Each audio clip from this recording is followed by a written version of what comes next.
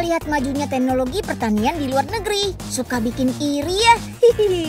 Dengan alat-alat canggih, pekerjaan petani memang bisa lebih ringan. Tapi hasil tetap memuaskan. Eh, petani di Indonesia juga nggak kalah kok kalau soal penerapan teknologi. Sedikit demi sedikit, cara modern mulai digunakan supaya petani bisa bekerja lebih efektif dan efisien. Wah, ada metode apa saja ya? Yuk, kita kemon!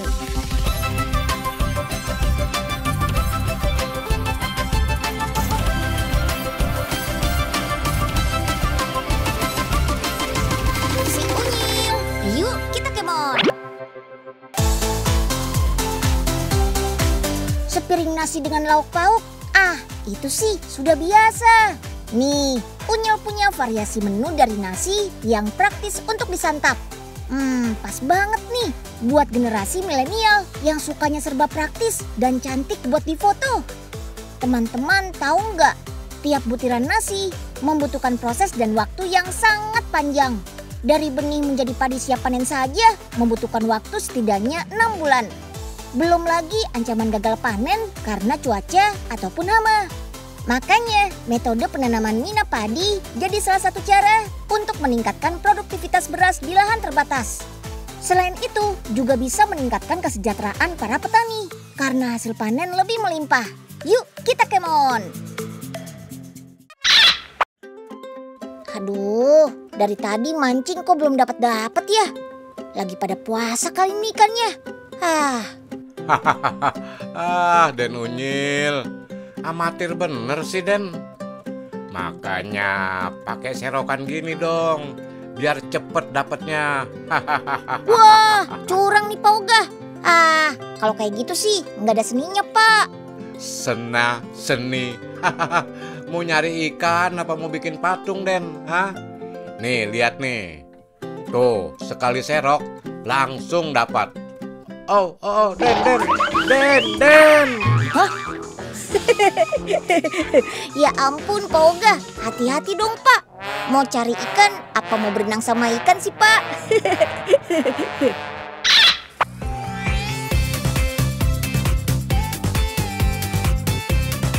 Wih, wih, wih, lagi pada ngapain di sawah?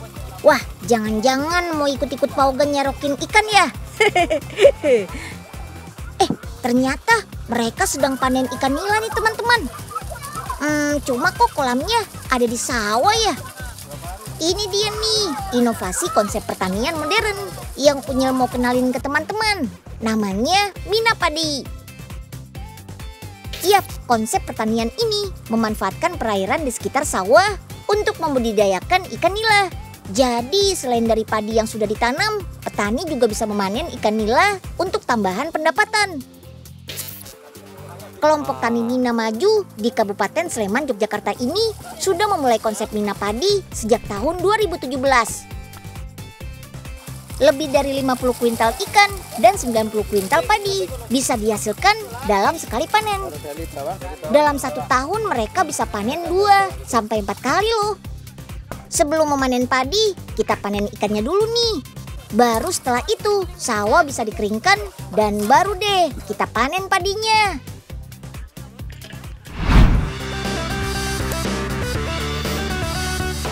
Nah, kalau untuk pembagian lahannya 80% untuk lahan pertanian dan 20% untuk kolam budidaya. Proses tanamnya juga harus kompak nih sama jadwal tebar benih ikannya. Sekitar 10 hari setelah padi ditanam, benih ikan baru bisa ditebar. Tujuannya supaya akar padi sudah cukup kuat. Jadi nggak rusak deh kalau dilewatin ikan-ikan.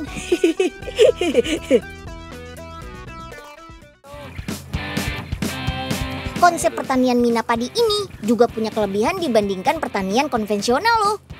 Jika pertanian konvensional membutuhkan dua kali pemupukan, konsep mina padi ini cukup satu kali. Soalnya kotoran dari ikan nila juga membantu kesuburan tanah. Wah, dapat pupuk organik langsung dari ikannya nih. oh iya, gak cuma itu aja. Bapak-bapak petani juga bisa menghemat tenaga untuk mengatasi gulma dan rumput di sekitar sawah. Karena sudah ada si ikan-ikan ini yang makanin gulma dan rumputnya. Jadi nggak usah capek-capek kan? Pelan ya. Karena sudah memakan rumput dan gulma padi. Pakan untuk ikan nila juga jadi berkurang. Cukup dikasih makan satu kali sehari. Nah, sekarang lahan terbatas sudah bukan jadi masalah lagi deh. Bahkan produktivitas mina padi ini setara dengan konsep pertanian konvensional yang menggunakan lahan lebih luas. Masih ditambah lagi hasil budidaya nilainya. Wih, semoga bisa menjadi solusi masalah pangan di Indonesia ya. Mantap! Salah satu tugas petani adalah memastikan lahan sawah ataupun ladang tidak kekurangan air. Kebayang nggak gimana capeknya petani yang harus menyiram sawah dan ladang yang super luas? Nah, untungnya berkat serangkaian inovasi, petani zaman sekarang sudah nggak usah capek-capek lagi.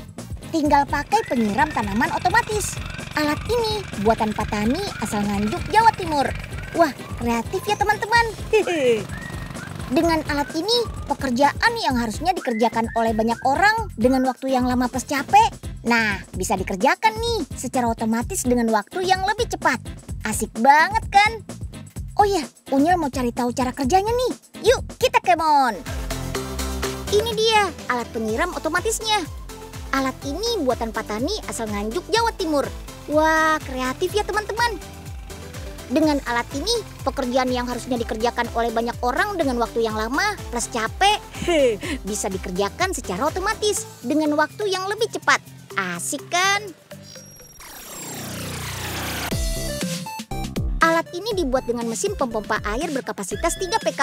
Tapi nggak sembarang mesin penyedot air bisa langsung digunakan ya teman-teman. Untuk membuatnya agar bisa berfungsi dengan baik, Pak Dedi merancang sendiri kipas penyedot airnya. Dia membuatnya sendiri dari lempengan logam. Ukurannya sudah disesuaikan agar pas dengan pipa penyedot yang nantinya akan dipasang di bagian bawah dan atas alat penyiram otomatis ini. Nah, lihat tuh, semuanya Pak Dedi kerjakan secara manual teman-teman. Hebat ya.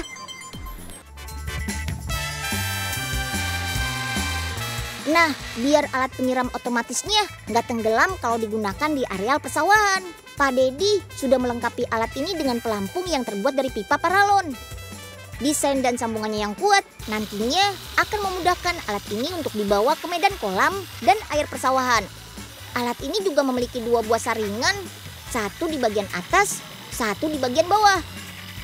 Saringan yang memiliki lubang berukuran 3 mm di bagian bawah akan berfungsi sebagai penyerap air.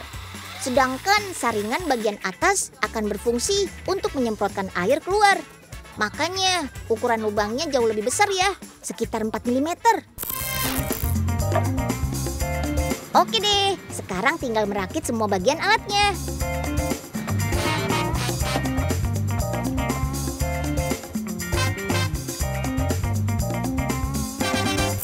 Tada! Sudah jadi deh alat penyiram otomatis made in Nganjuk. hmm, kalau sudah ada alat ini, Petani kan gak usah capek-capek membubuk lagi saat menyiram tanaman. Serahkan semuanya pada alat penyiram otomatis ini.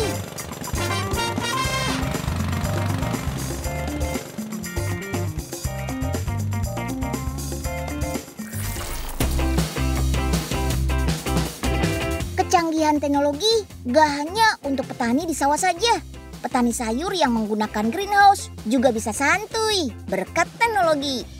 Dengan menanam di dalam greenhouse seperti ini, tanaman lebih terlindung dan terjaga. Tapi banyak juga yang harus diperhatikan. Mulai dari suhu udara, intensitas cahaya, hingga kelembapan udara di dalam greenhouse. Kalau greenhouse-nya cuma satu sih, masih bisa ditangani. Tapi kalau ada banyak greenhouse, pastinya kewalahan juga. Dengan alat canggih yang terkoneksi dengan ponsel pintar ini, berkebun dengan greenhouse lebih mudah untuk diawasi. Yuk, kita kemon!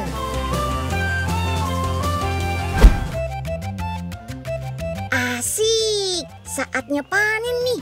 Di sini ada banyak jenis sayuran. Semuanya ditanam dalam greenhouse dengan cara hidroponik.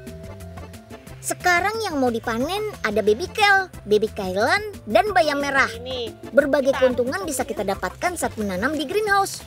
Seperti aman dari gangguan hama. Ya. Soalnya lubang udara pada greenhouse yang setinggi 3 meter dapat mencegah masuknya hama. Greenhouse juga aman dari segala perubahan cuaca. Misalnya saat hujan, tanaman akan terlindung dari tetesan air hujan yang dapat merusak tanaman. Supaya greenhouse lebih mudah diawasi, kita bisa menggunakan alat bernama Crop Hero ini.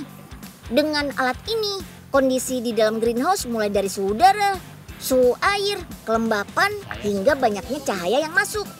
Gak perlu lagi deh datang ke greenhouse untuk pengecekan secara manual. Cukup melihat dari layar ponsel pintar, semua kondisi dalam greenhouse bisa dilihat. Alat ini merupakan inovasi kakak-kakak mahasiswa Institut Pertanian Bogor. Pertama desain dulu bentuk cangkangnya di komputer. Kan Setelah itu cetak dengan printer tiga dimensi. Dan ini dia hasilnya. Canggih hasil ya. selesai printnya nih. Kalau sudah, mulai deh kita rangkai komponen mesinnya. Bentuknya sih memang kecil, tapi berguna banget nih buat pengguna greenhouse yang tidak memiliki banyak waktu untuk mengecek kondisi kebun. Alat ini terhubung dengan internet, jadi informasi tentang kondisi lingkungan perkebunan yang dibutuhkan dapat diakses melalui ponsel pintar. Karena dilengkapi dengan kartu memori, alat ini masih bisa digunakan meskipun tidak ada akses internet. Jadi, gak usah repot-repot lagi cek satu persatu kebun yang bisa memakan waktu dan tenaga. Satu orang petani yang tadinya hanya bisa mengurus paling banyak 4 greenhouse, jadi mampu mengurus 10 greenhouse sekaligus menggunakan Crop Hero. Pekerjaan jadi lebih efisien dan efektif. Hasil panen pun jadi meningkat. Mantap!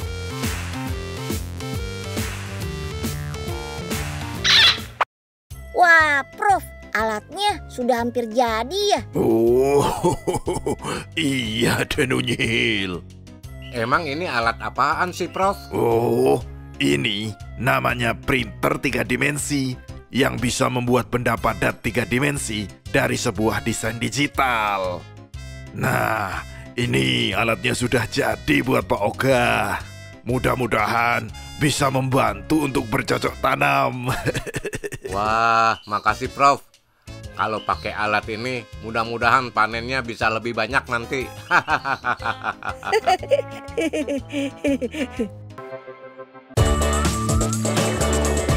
Salah satu tugas petani adalah memastikan traktor otomatis tanpa awak ini jadi salah satu inovasi alat pertanian yang dikembangkan untuk meningkatkan kualitas dan kuantitas hasil pertanian. Gak cuma meningkatkan hasil pertanian dengan mengolah tanah secara maksimal, tapi juga bikin kerja petani lebih efisien dan efektif. Dan pastinya lebih santuy.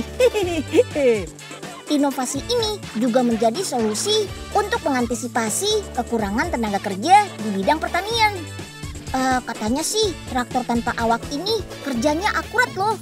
Hmm, kita buktiin deh. Yuk, kita kemon. Ya, mana sih Pauga? Katanya mau nganterin Unyil. Hah? Loh, loh, loh, loh. Itu kok becanya jalan sendiri sih? Wih, keren banget nih becanya Pauga. Eh, ayo deh Cak, anterin Unyil ya. Wah, berkat penemuan profesor, Oga nggak perlu capek-capek goes deh. Cukup di aja. Kok kok nggak bisa dibelokin ya? Rusak nih remote-nya. Waduh, tolong. Pak. Aduh, aduh, aduh, aduh, aduh. Aduh, Pauga, ini gimana sih becanya? Ah. Hmm, kalau beca tanpa awaknya Pauga bisa nyungsep, nah kalau yang satu ini dijamin aman deh. tuh lihat, ada traktor yang bisa jalan sendiri tuh. Eh, tenang, tenang. Ini bukan penampakan kok, bukan traktor hantu. Traktor ini adalah traktor tanpa awak yang dikembangkan oleh Kementerian Pertanian sejak tahun 2015 lalu. Traktor ini bisa dikendalikan dari jarak 5 km loh. Jadi petani nggak perlu panas-panasan deh. Cukup duduk manis sambil mengendalikan traktornya. Sama kayak traktor manual, traktor tanpa awak ini bisa melakukan manuver maju, mundur, belok, dan membajak sawah juga. Hmm, pokoknya sama saja kayak dikendaliin sendiri. Bahkan bisa dimatikan dari jarak jauh juga. Keren banget kan? Tuh lihat. Nah, ini dia nih otak dari traktor otonomnya. Ada mini komputer yang mengendalikan semua fungsi traktor. Sama seperti otak kita. Mini komputer ini yang akan memerintah pedal gas, setir, rem, persneling, dan semua fungsi lain traktornya. Yuk kita sambung-sambungin kabelnya. Eh, jangan lupa kabel internetnya ya. Soalnya kalau nggak ada koneksi internet, traktornya nggak bisa diperintah dari jarak jauh. nah, kalau sudah, tinggal kita tutup deh menggunakan box yang kedap air. Jadi nggak usah takut kehujanan.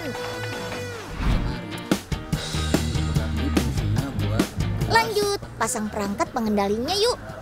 Jadi, setelah mendapat perintah dari mini komputer, tuas persneling akan digerakkan oleh penggerak hidrolik ini nih.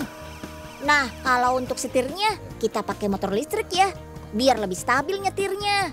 Begitu juga dengan rem dan koplingnya. Oh iya, semua peralatan traktor tanpa awak ini sengaja dikembangkan menggunakan onderdil yang mudah ditemui. Biar kalau ada yang rusak, Patani gampang benerinnya. Oh iya, jangan lupa dipasang juga antena penerimanya ya. Hmm, tapi traktor ini memang belum bisa digunakan untuk membajak lahan sawah yang berat. Eh, tapi tenang, sistemnya dirancang knockdown kok. Jadi bisa dicopot biar traktornya bisa difungsikan secara manual. Den, itu kok traktornya masih ngikutin aja sih Den? Aduh, Unyil juga nggak tahu pak. Eh, jangan-jangan kita ketempelan apa ya? Ya ilah Den Unyil, ketempelan tuh. Ketempelan rejeki gitu. Masa ketempelan traktor? Nyari parkirnya aja susah.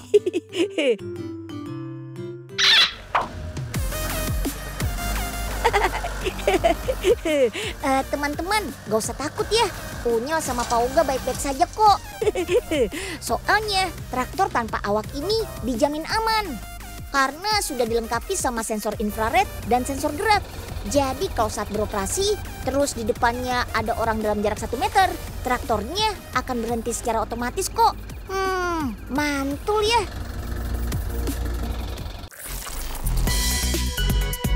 Salah satu faktor penting di bidang pertanian ya penggunaan pupuk untuk menyuburkan tanah.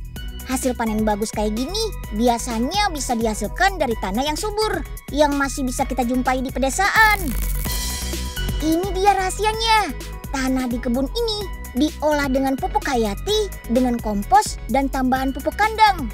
Yap, rahasianya adalah pupuk hayati atau pupuk bioorganik yang fungsinya memperbaiki tanah yang sudah tidak subur. Tenang, pupuk ini aman kok karena terbuat dari bahan-bahan organik. Kalau nggak percaya, ikut Unyil aja ke pabriknya di Kabupaten Bogor, Jawa Barat. Yuk, kita kemon! Pupuk hayati ini berbentuk cairan konsentrat berwarna hitam. Di dalamnya terdapat bahan alami yang kaya akan unsur hara makro, mikro, dan mikroba baik untuk tanah.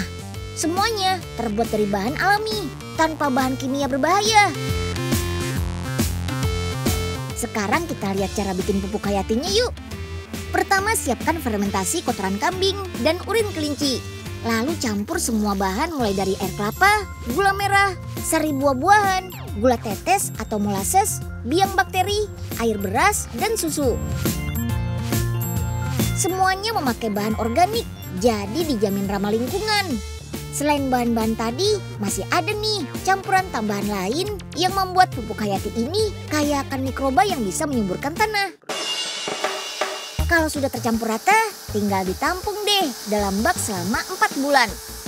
Selama proses fermentasi, pupuk harus terlindungi dari paparan sinar matahari langsung ya. Tujuannya untuk melindungi bakteri agar dapat berkembang biak. Pupuk cair ini juga harus diaduk secara berkala sampai terfermentasi dengan sempurna dan tidak berbau lagi. Bak ini bisa menampung pupuk hayati hingga 150 ribu liter. Zaman dulu petani menggunakan pupuk alami yang berasal dari daun-daunan dan kotoran hewan. Jenis pupuk ini mengandung mikroba yang berguna untuk mengurai tanah dan menyediakan nutrisi untuk tanaman. Seiring dengan meningkatnya permintaan hasil pertanian, manusia terus berinovasi menciptakan pupuk kimia yang dapat mempercepat pertumbuhan tanaman dan meningkatkan hasil pertanian. Penggunaan pupuk organik pun semakin tergantikan dengan pupuk kimia. Padahal untuk jangka waktu panjang, pupuk kimia bisa menimbulkan dampak negatif. Penumpukan residu pupuk kimia menyebabkan tanah sulit terurai. Akibatnya, tanah mengeras dan tanaman sulit menyerap air dan nutrisi dari tanah. Di sinilah peran pupuk hayati yang dapat menghidupkan kembali ekosistem dalam tanah. Sebelum menanam, tanah perlu diram pupuk hayati terlebih dahulu ya. Takarannya cukup dengan 200 ml pupuk hayati dicampur dengan 20 liter air. Kemudian siram ke tanah. Pupuk hayati ini mengandung dua asam organik esensial yang dapat menstimulasi pertumbuhan tanaman, meningkatkan antibodi tanaman terhadap resiko hama dan cuaca. Untuk tanaman sawi dan brokoli, Penyemprotan ulang pupuk hayati dilakukan saat usianya sudah satu minggu. Selanjutnya siram secara berkala satu bulan sekali hingga masa panen. Biasanya tanaman kol bisa dipanen saat usia tiga bulan. Tapi dengan penggunaan pupuk hayati yang dikombinasikan dengan pupuk kandang bisa mempercepat masa panen menjadi dua bulan saja. Mantap!